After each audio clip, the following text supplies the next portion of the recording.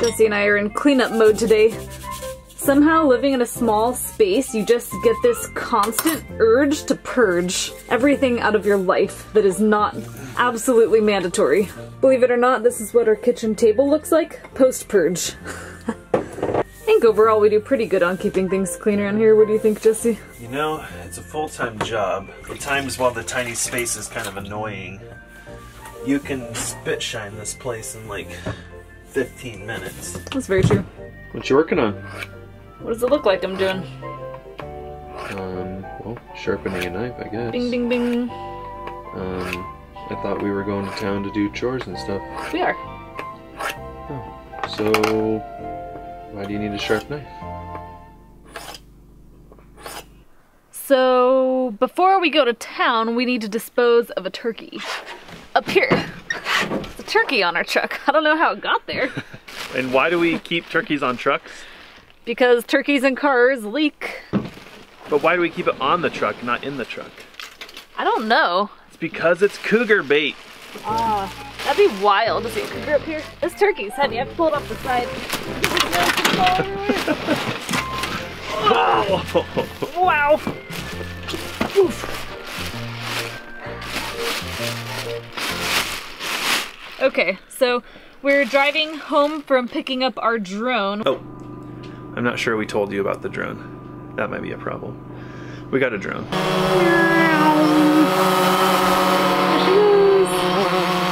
This turkey was on the side of the road. What you doing? Um, somebody hit a turkey, and I don't know if it's any good or not, but might as well grab it. You never know. Like, could be at least cat food. Yeah. So, trying to always be mindful of stuff like this. Figure out what we're gonna do with it when we get home. So because we're trying to be very resourceful, we kind of learned that salvaging roadkill is actually a thing. It's nice to not let meat go to waste, even if we don't eat it personally. A lot of people around here feed it to their pets, Yeah. and it's perfectly good food. Might not be human consumable Yeah. per se, but Somehow I was raised and in the city you see roadkill and someone mentions picking it up and you're like, oh, that's disgusting. It's barbaric. But up here, a lot of people do do that. Just think about it. Someone might hit a deer. Deer's dead and nothing's wrong with it. People hunt deer all the time for meat. We go buy meat at the store.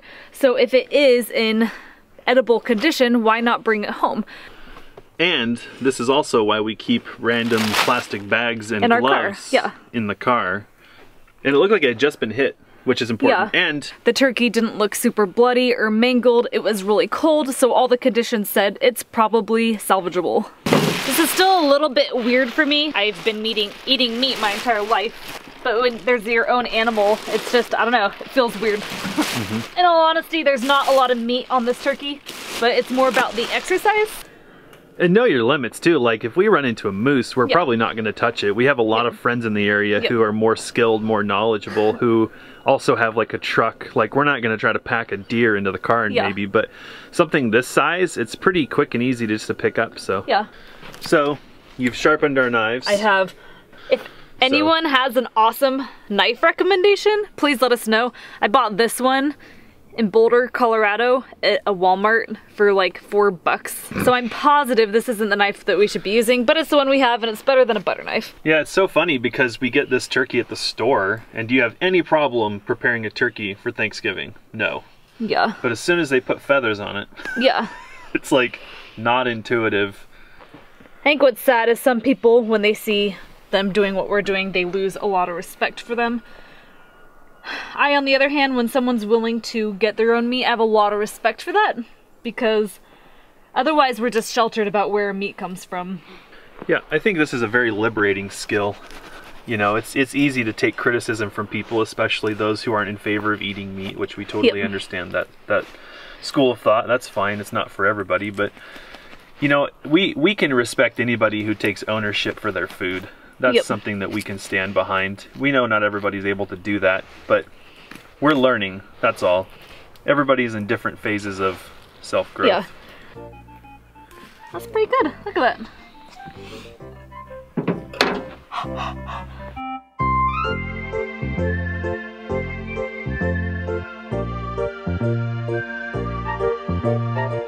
All right, that's our second breast. It's pretty good.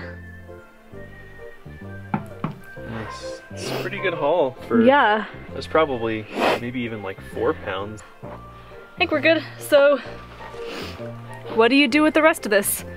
Well, I think some people that have a rural property put it on their property. And what a lot of people do is just take it to the local dump and put it in household waste.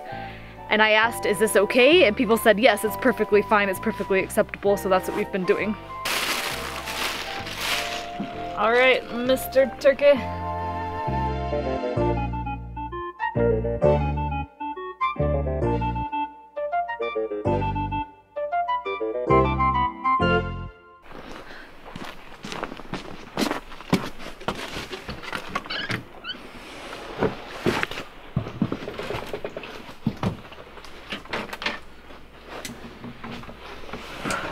So I think we ended up with probably four pounds of meat or so. Yeah. Nice work. Nice. into job. the fridge. So we're done with that. We're gonna clean the meat later.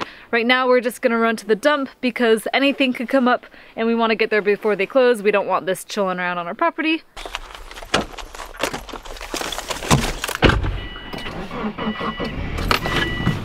Make sure to turn down my rap music. my, my Eminem, my 50 Cent. So I ran into the snow scoop backing up yesterday. But I, don't, I don't see that I did any damage, so I win.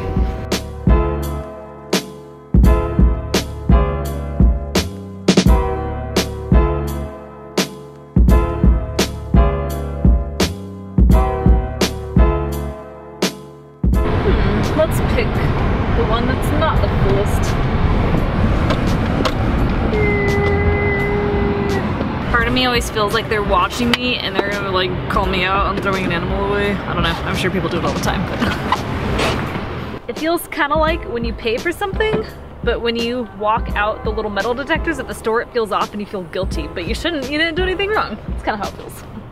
All right, turkey. Here we go. Ready?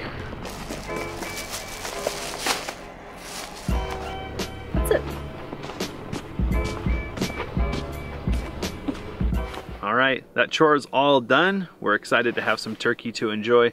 Honestly, when we came on this journey, we didn't see ourselves gutting turkey on the tailgate of our pickup, but here we are, and it's part of the path to self-sufficiency. So hopefully you learned a little something about this uh, process, and you're kind of inspired to investigate this for yourself. I know Alyssa and I are super excited to find more roadkill, which is kind of awkward.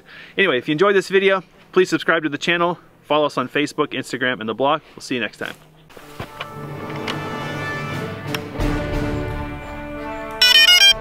Eva.